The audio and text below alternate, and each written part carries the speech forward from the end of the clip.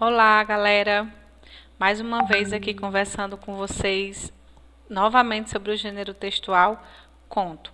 Retomando a questão dos contos populares, só que hoje nós iremos estudar um conto bem interessante, no caso, um conto de assombração.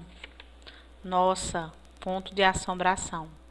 Alguém aqui já leu algum conto de assombração? Vocês já tiveram conhecimento sobre o que seria esse tipo de conto? Quando falo em conto de assombração, o que é que vem à mente de vocês? Então vamos lá. O conto de assombração, ele segue a mesma estrutura dos outros contos. É um conto popular, certo? Ele é repassado de forma oral, até porque nós estamos falando de conto de assombração relacionado a contos populares, né? Narra algo fictício, né? Tem a intenção de quê? Qual é a diferença do conto de assombração para os outros contos populares? No caso, o conto que nós fizemos a leitura anteriormente sobre o padre, o estudante e o caboclo. Esse conto aqui em especial, ele vai causar o que? Medo, suspense e susto aos leitores, né? Quem lê vai ter essa sensação de medo, de susto, de suspense, certo? E o início do conto de assombração é próximo do fim, tá? É uma narrativa curta, com poucos personagens, também com espaços delimitados. Certo? As características. Quais são as características desse conto? Então, nós temos o narrador, o tempo, o espaço, o enredo e o personagem. O que é o narrador? O narrador é quem vai contar a história certo? E o narrador, ele não pode ser em primeira pessoa, ele não é um narrador personagem, por quê? Porque como é uma história oral, ninguém sabe ao certo, ninguém sabe quem, né, os contos populares, ninguém sabe delimitar quem escreveu, há quanto tempo foi escrito, onde foi escrito. Então, o foco narrativo é em terceira pessoa. Alguém vai fazer a reprodução desse conto. O tempo é um tempo impreciso, né? É um tempo incerto. Ninguém sabe ao certo quando foi que esse conto ele foi inventado, ele foi criado. O espaço. O que é que a gente tem que perceber no espaço? É a partir do espaço do conto de assombração que as pessoas vão começar a perceber o suspense. É a partir do espaço que você vai criar no leitor a sensação de suspense, de mistério. Um conto de assombração jamais, né, vai ser de assombração se ele for em uma floresta, né? Então, geralmente numa casa mal assombrada, em algo muito escuro. Né? Então, o espaço é quem vai fazer com que o leitor ele perceba essa sensação de suspense no seu texto, que é o local onde toda a trama, toda a história vai se passar. O enredo, o enredo é a própria história, né? É como as coisas irão acontecer, como os fatos eles irão ser encadeados e acontecidos na história. Personagem, quem são os personagens? Quem são as pessoas que irão vivenciar as ações dentro do conto, dentro do texto. Tá certo?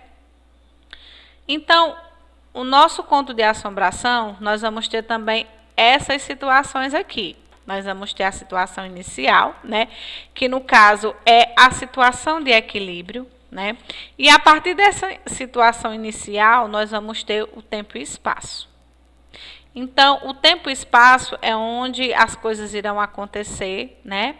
E em determinado tempo elas irão acontecer.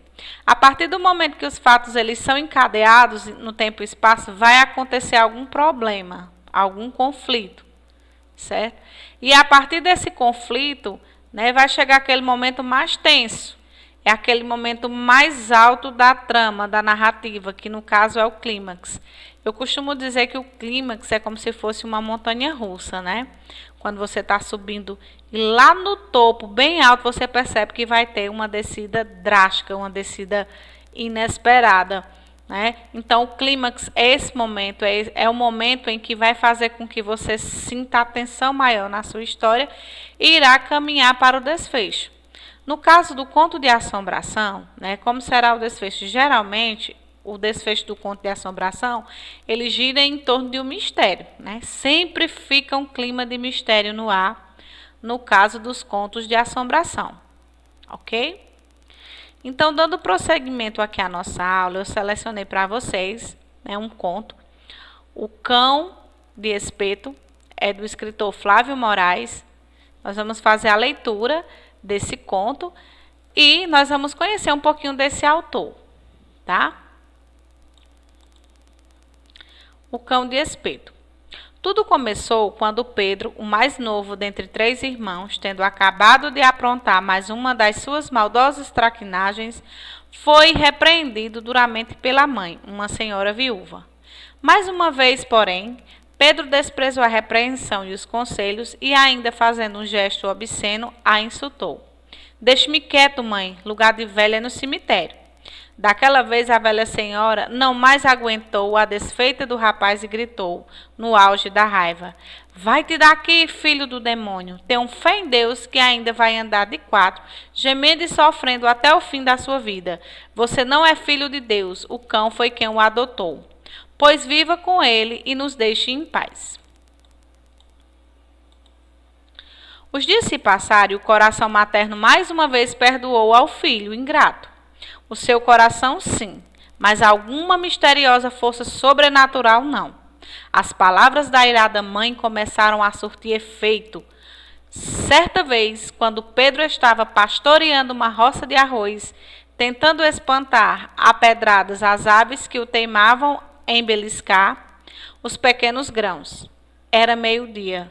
A velha reparou o almoço do caçula e mandou que João, o filho mais velho que chegava de outro roçado, fosse entregar a comida ao irmão. João, ao se aproximar da roça de arroz, começou a gritar: Ô Pedro! Oi? Hum, foi o que ouviu. Ô Pedro! repetiu, estranhando o gemido do irmão. Oi! Hum, respondeu com um gemido mais forte. O cão de espeto. João correu em busca do irmão, mas estrancou de repente ao avistar Pedro, cabelos desgrenhados, espumando como um cão raivoso. Sentado ao pé de uma fogueira, estava a assar uma carne, churrasco suculento, churrasco de si próprio. Assava seus antebraços e arrancava-lhes enormes pedaços com os dentes, mastigando-os com ferocidade. Horrorizado com a cena, João disparou para casa, onde contou à mãe, incrédula, a visão repugnante que tinha tido. Duvidando, ela ordenou que o filho do meio fosse levar a comida. Vai logo, ele está com fome. Ora, João, depois de grande deu para mentir? E José, o filho do meio, foi. Minutos depois, voltou numa, corre... numa carreira só, branco de pavor. O João estava dizendo a verdade, mãe. Eu chamei Pedro e ele respondeu com os gemidos mais horríveis do mundo.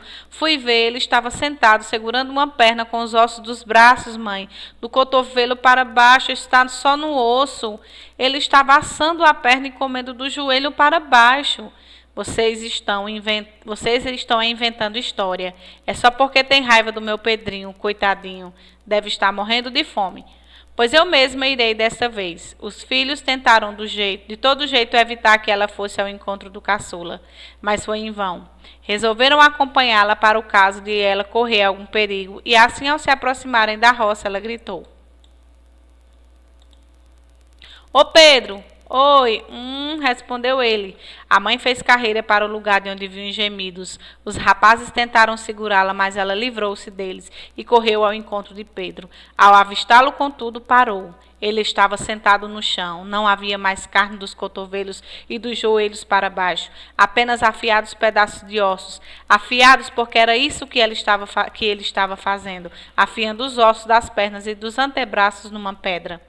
Parou ao sentir a presença da velha, olhou-a com enormes olhos injetados de sangue, pôs-se de quatro no chão e, soltando um gemido, aproximou-se dela, dizendo: Hoje eu como uma boa carne assada. A pobre senhora não esperou e não quis conversa.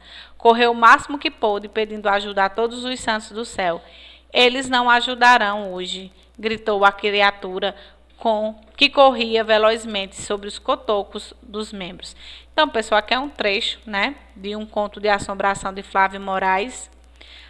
Aqui vocês vão perceber, juntamente com os professores em sala, vocês vão fazer todo o estudo do que seria a situação inicial, o que seria o conflito, né, o problema, qual seria o ponto máximo da narrativa.